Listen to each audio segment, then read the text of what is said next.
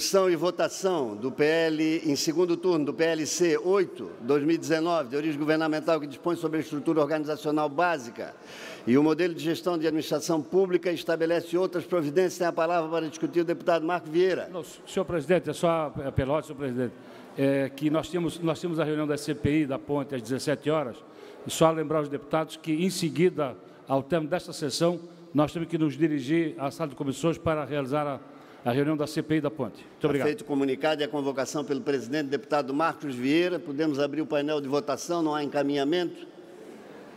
Há necessidade de 21 votos para aprovação da matéria em segundo turno. Está aberto o painel. Votando um, aprova o substitutivo em segundo turno.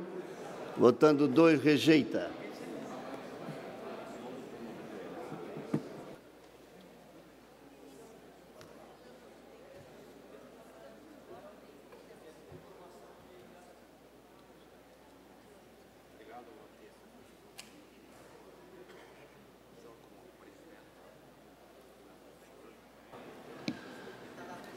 Está encerrada a votação. Votaram 33 senhores deputados. Está suspenso o encerramento da votação. Voltamos à votação. Deputada Ada De Luca.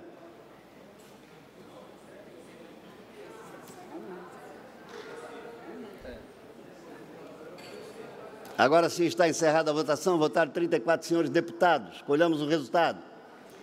34 votos sim, nenhum voto não. Está aprovada a matéria em sede de segundo turno. A presidência Encerra a presente sessão convocando outra extraordinária para as 17 horas e 19 minutos para a votação. Essa é a redação final? Para a votação da redação final do PL 29-2019, já votado em primeiro turno hoje na sessão ordinária, e do PLC 8-2019. Está encerrada a sessão.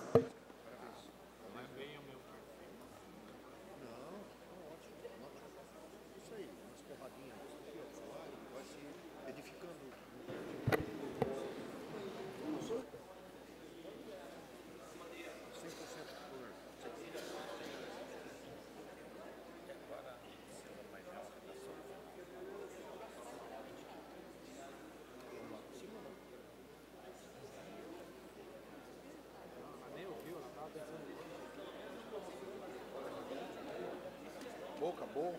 Parabéns. Obrigado. Parabéns.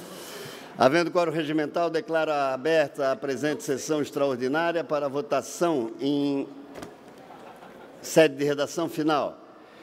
PL 29/2019 altera a lei 10.297 de 96 que dispõe sobre ICMS e estabelece outras providências os deputados que aprovam a matéria permaneçam como se encontra, aprovado por unanimidade.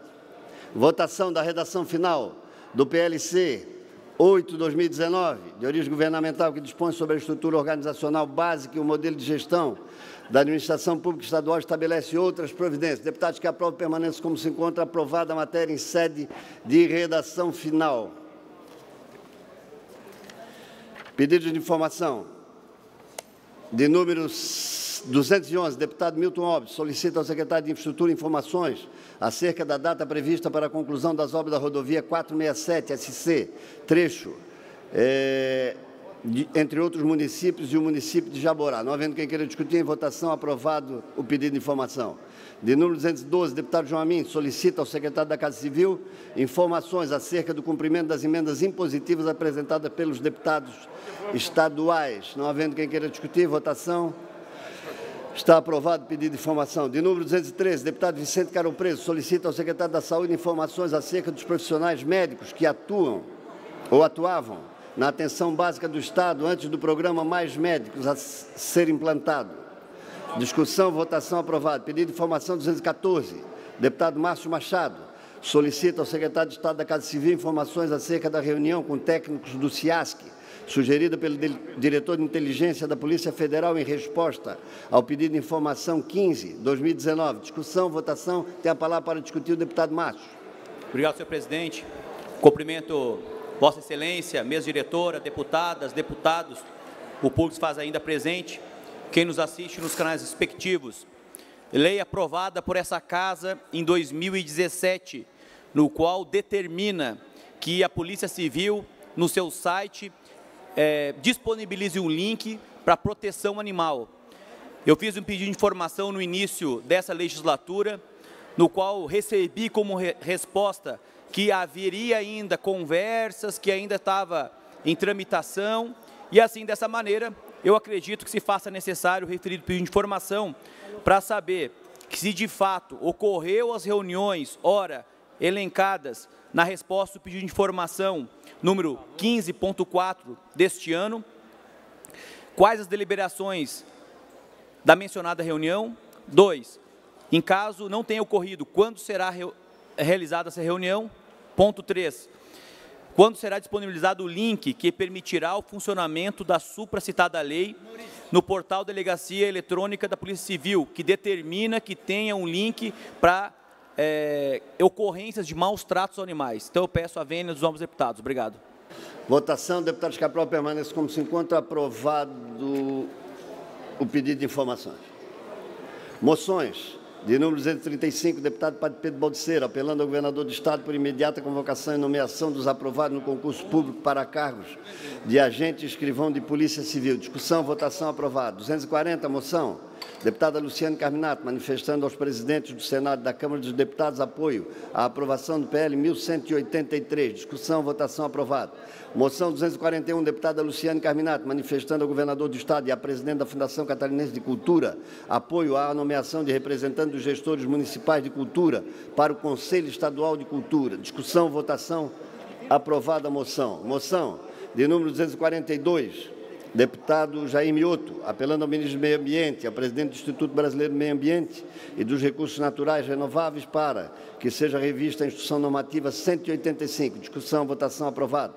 243, moção do deputado Fernando Krelin, apelando ao governador do Estado pela instalação na Escola Básica João Martins Veras, no município de Joinville, de rampas de acesso e demais equipamentos equipamentos capazes de viabilizar a inclusão de alunos com dificuldades de locomoção. Discussão, votação aprovada.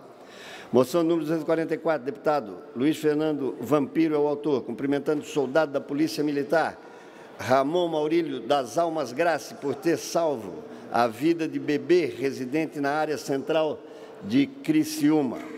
Discussão, votação aprovada. Moção 245, deputado Jair Comper apelando ao superintendente regional de DENIT por urgente melhoria na sinalização da BR-470, trecho quilômetro 120 a quilômetro 124, localidade Serra São Miguel, município de Ibirama. Discussão, votação aprovada. A presidência comunica que defere os seguintes requerimentos: 555 a 560, deputado Laércio Schuster.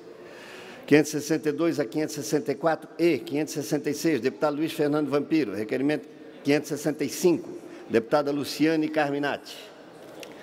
A presidência comunica ainda que encaminhará aos destinatários, conforme determina o regimento interno, as seguintes indicações. 698 e 699, deputado Laércio Schuster.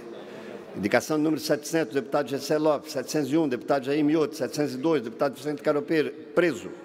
703, deputado Silvio Drevik. 704, deputado Neudi Sareta. 705, deputado Márcios Machado. Não há mais matérias a deliberar. A presidência comunica que não há oradores inscritos em explicações pessoais. Em sendo assim, a presidência, antes de encerrar a presente sessão, convoca outra ordinária para o dia de amanhã. Está encerrada a presente sessão.